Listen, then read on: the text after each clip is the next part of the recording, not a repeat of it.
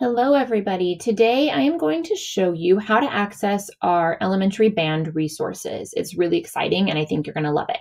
So I'm going to start by um, just in my internet browser, I'm going to go to our Hanford Elementary website, and that is just hanfordesd.org.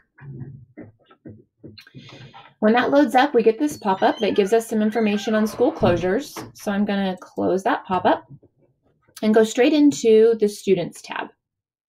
In this tab, there's a lot of different resources that are available to you, but we're going to start by going into band resources. So there's lots of great stuff here. These Kahoot resources, I highly recommend them. They're um, fun interactive quizzes that let your students show what they know for reading music. We're going to go into elementary band. Depending on the instrument your student plays, there are some folders here with some sheet music and various resources. But before you get into any of that, we actually need to start down here on elementary online instructions. So on my screen, it opens up to this black screen with this arrow in the middle indicating that I need to click here to download the Word document. That opens up for me. There's some information at the top of this document that talks to you about what music karate is. And basically, what it is is a progression of small assessments that students can do as they get more proficient and they learn new skills in their instrument.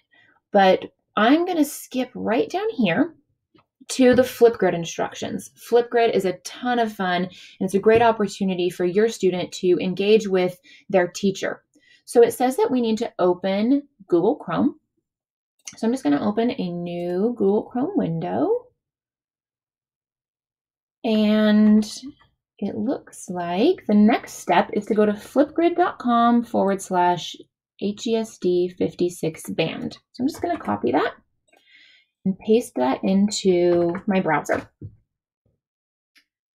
see where we go. Heading into Flipgrid. Oh, looks like we need a password. So I'm going to click back into my Word document. Oh, it gives me the password HESD band 1. I'm going to type that in. And it opens up. Here we go. So you have this drop down menu that allows you to choose the belt you're working on. You can ask your student which belt they're working on, or you could email the band teacher. If your student hasn't gotten started, white belt's where you start. So you click into the belt that you're working on. I'm going to select yellow belt, and it gives you the instructions. Your Sound Innovations book, this book that's referenced right here, is the, the music book that your student has been working on through all year long when they go to their band class. So we're going to get that book out. And in order to get our yellow belt, we'll have to record song number 26, then song number 30, and then song number 33. When you open that music book, the song numbers are really clearly indicated in there. We'll have to submit a separate video for each song, with the title of our video being our school name, our student's first and last name, and the number of the song we're performing. So my title of my video might be Lincoln, my first name and last name, and I'm going to perform song number 26 today if I was a student that was performing that song. All we have to do to record is click this green arrow. And what it's going to do is ask our students to log in. We always log in with Microsoft. Your login information is your six digit lunch number at hanfordesd.org. So you would click here to log in. I've already logged in today, so it's not going to ask me to enter that. But remember, if it does, six digit lunch number at hanfordesd.org. And it takes us to our Flipgrid. So we are ready to record and it pops up with our screen. So you can click record when you are ready. There we are.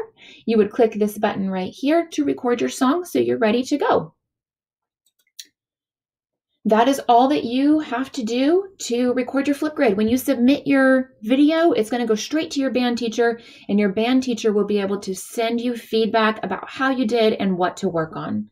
We hope you enjoy it. If you have any questions, please feel free to reach out to your band teacher. They are ready and excited to help you. Have fun.